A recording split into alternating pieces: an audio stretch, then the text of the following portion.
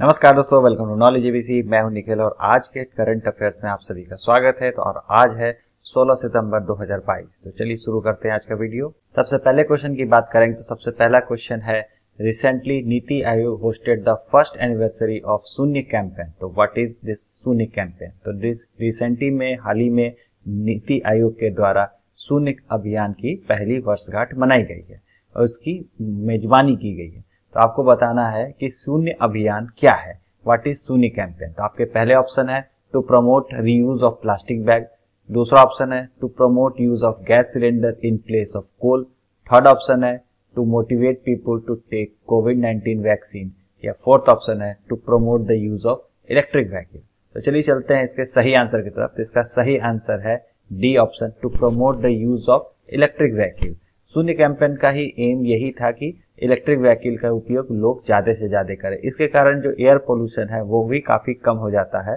और इस पर धीरे धीरे पूरे लोगों को शिफ्ट करना भी इसका एकमात्र मकसद है। और इसका एक साल पूरा होने के बाद नीति आयोग के द्वारा इसका फ़र्स्ट एनिवर्सरी होस्ट किया गया है। और इसमें पूरे जो शून्य कैंपेन है, इसमें 130 इंडस्ट्रियल पार्टनर शामिल हुए हैं, जिसमें राइड हेडिंग हो गया डिलीवरी हो गया, इलेक्ट्रिक व्हीकल कंपनी जो है, ये सब मिलके इसमें ग्रुप बना के शून्य कैंपेन को आगे बढ़ा रही है साथ साथ नीति आयोग तो है ही इसमें। नेक्स्ट क्वेश्चन है seventh edition of FIFA under seventeen women's world cup 2022 would be held in तो अंडर 17 महिला विश्व कप फुटबॉल का सातवां संस्करण कहाँ पे होगा? आपके ऑप्शन है भुवनेश्वर, नवी मुंबई, गोवा या ऑल देव तो चलिए चलते हैं इसके सही आंसर की तरफ़। तो इसका सही आंसर है, सभी सिटीज़ में होगा। भुवनेश्वर में भी होगा, नवी मुंबई में होगा, गोवा में भी होगा।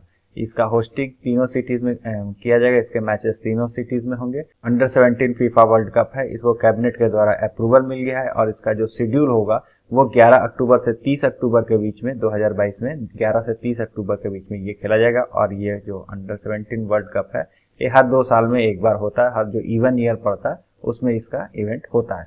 चलता है नेक्स्ट क्वेश्चन की तरफ़। एक्सरसाइज काकाडू 2022 के ए 2020 जिसको शॉर्ट में बोला जाता है, is a multinational exercise hosted by. तो काकाडू 2022 किस कंट्री के द्वारा होस्ट किया जा रहा है, जो कि एक मल्टीनेशनल एक्सरसाइज है? आपके ऑप्शन है, ऑस्ट्रेलिया, जापान, साउथ कोरिया या फिर ब्राज़ील। तो चलिए चलते हैं इसका सही आंसर की तरफ़। इसका सही आंसर है ऑस्ट्रेलिया के द्वारा काकाडू एक्सरसाइज 2022 होस्ट किया जा रहा है। ये मल्टी नेशन एक्सरसाइज है, जिसको इस बार ऑस्ट्रेलियन नेवी होस्ट कर रही है। और ये हो रहा है, डार्विन जो है, ऑस्ट्रेलियन का नॉर्दर्न टेरिटरी का जो कैपिटल है, वहाँ पे इसको खेला जा रहा है। और ऑस्ट्रेलिया के बारे में मैंने एक अलग से वर्ल्ड मैप सीरीज़ में पूरा वीडियो बना चुका हूँ। आप लोग चाहें तो वहाँ से वीडियो देख सकते हैं। पूरा ऑस्ट्रेलिया के बारे में, फ़िज़िकल मैप और पॉलिटिकल मैप, इसका लिंक मैं नीचे डाल दूँगा डिस्क्रिप्शन में। आप देख सकते हैं और आई बटन पे भी इसका आ रहा होगा। It will be held in ये पूरा एक्सरसाइज दो हफ्तों का चलेगा, जो कि 12 से 24 सितंबर के बीच में होगा।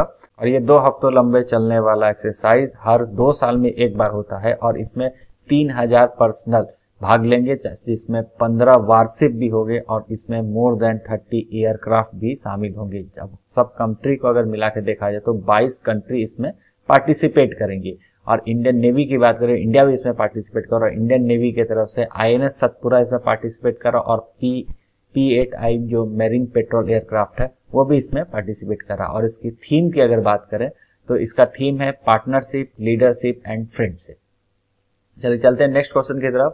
तो name the company partnership with the ISRO has launch the high speed satellite broadband service in India तो ऐसी कौन सी कंपनी है जो इसरो के साथ पार्टनरशिप करके high speed satellite broadband service जो इंडिया में प्रोवाइड करेगी?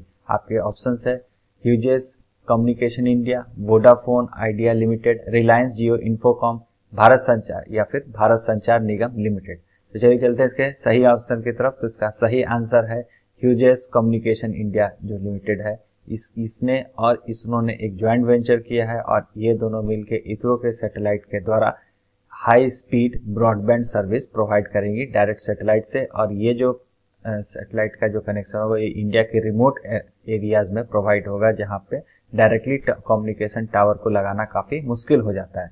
और ये डायरेक्ट सेटेलाइट से आगे, और इसकी स्पीड भी कम से कम एक जी की रखी जाएगी। और यहाँ जहाँ तक इस कंपनी की बात करें Hughes communication India Hughes communication India limited की तो ये एक ज्वाइंट वेंचर कंपनी है। जिसमें यूएस बेस्ड जो ह्यूजेस नेटवर्क है वो और इंडियन टेलीकॉम सेक्टर की जो बड़ी कंपनी है, भारतीय एयरटेल इस दोनों का ज्वाइंट वेंचर है और ये ह्यूजेस कम्युनिकेशन इंडिया लिमिटेड बनाती है, जो कि इसरो के साथ पार्टनरशिप करके हाई स्पीड इंटरनेट प्रोवाइड करेगी। और ये जो इसरो का सैटेलाइट कौन सा यूज़ करने वाली है तो जी सेट इलेवन और G sat twenty nine satellite को यूज़ करके ये इंटरनेट प्रोवाइड करेगी।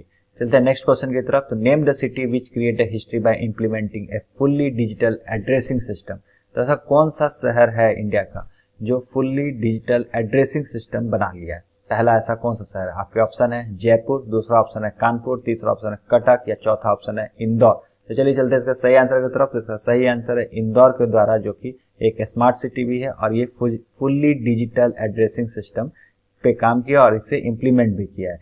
पत्ता नेविगेशन पता नेविगेशन फ़िल्म जो कि इसको बना रही है पूरे सिस्टम को ये इसरो के साथ कोलैबोरेट करके ये पूरा सिस्टम डेवलप किए हैं और इसमें सारे लोगों का जितना भी वहाँ पे एड्रेस है, उसको एक डिस्टिंक्टिव कोड दी जाएगी और वो सारा एड्रेस डिजिटलाइज हो जाएगा और उसमें एक सिर्फ़ एक कोड दे दिया जाएगा, उस कोड से आप उस घर का पूरा एड्रेस निकाल सकते हैं। और इसमें वॉइस रिकॉर्डर का भी सुविधा रहेगा और इसमें आप वॉइस रिकॉर्ड करके बता सकते हैं, आपको सिर्फ़ कोड मिल जाएगा तो आपको अपने पर जो रिलेटिव आ रहे हैं उनको बार बार फ़ोन करके पूरा डिटेल एड्रेस नहीं बताना पड़ेगा, सिर्फ़ वो कोड से आप उसमें जो वॉइस रहेंगे, उसके द्वारा आप पूरा रिकॉर्डेड जो रहेगा, उसके द्वारा वो पूरा पता जान जाएँगे। तो इसलिए बार बार आपको फ़ोन कर करके गेस्ट को बार बार अपना एड्रेस बताने की ज़रूरत नहीं होगी, ये सारा सिस्टम डिजिटलाइज हो जाएगा। चलते हैं नेक्स्ट क्वेश्चन की तरफ़। तो name the social media platform which partner with the Indian post payment bank to boost the financial inclusion and literacy in the country तो ऐसा कौन सा सोशल मीडिया प्लेटफॉर्म है जो इंडिया पोस्ट पेमेंट बैंक के साथ समझौता करके फाइनेंशियल इंक्लूजन और लिटरेसी इन द कंट्री में बढ़ाने की आगे बात कर रहा है? तो आपका ऑप्शंस हैं फेसबुक ट्विटर इंस्टाग्राम या फिर कू तो चलिए चलते इसके सही आंसर की तरफ़। तो इसका सही आंसर है कू के द्वारा इंडिया पोस्ट पेमेंट बैंक है। ये कोलैबोरेट किया और इसके साथ कोलैबोरेशन करने के साथ ये फाइनेंशियल इंक्लूजन काफ़ी बढ़ेगा टीयर टू टीयर थ्री और जो रिमोट एरियाज़ है, उन सब जगहों में। को ऐप की खासियत ये होती है कि मल्टीलिंगुअल है। एक एक से साथ कई भाषाओं में ये लगभग दस भाषाओं में काम करता है, जिसके कारण लोकल लैंग्वेज में इसमें कम्युनिकेट करना काफ़ी ईजी हो जाएगा, लोगों को काफ़ी कंफर्टेबल फील होगा। और जहाँ तक इंडियन पोस्ट पेमेंट बैंक की बात करें तो उसे एक सितंबर 2018 में इसको बनाया गया था। अंडर डिपार्टमेंट ऑफ़ पोस्ट में, जो डिपार्टमेंट ऑफ़ पोस्ट है, इसके अंतर्गत इसको बनाया गया। इंडिया पोस्ट पेमेंट बैंक को और ये पूरा मिनिस्ट्री ऑफ़ कम्युनिकेशन के अंतर्गत आता है। वीडियो आपको कैसा लगा? अच्छा लगा तो लाइक, शेयर और सब्सक्राइब करें। मिलते हैं अगले वीडियो में।